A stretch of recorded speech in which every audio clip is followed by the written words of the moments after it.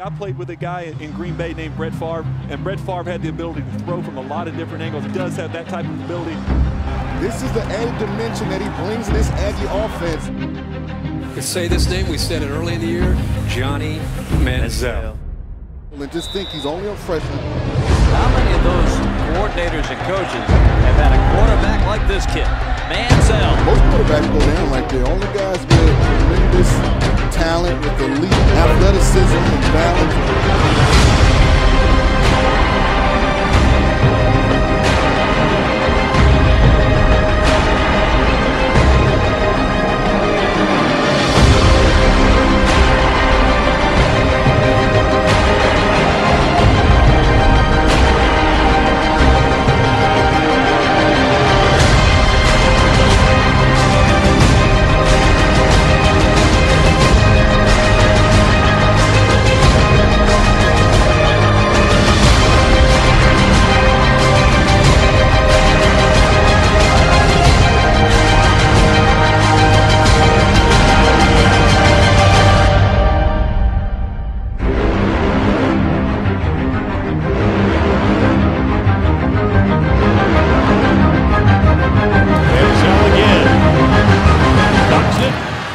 away from everybody.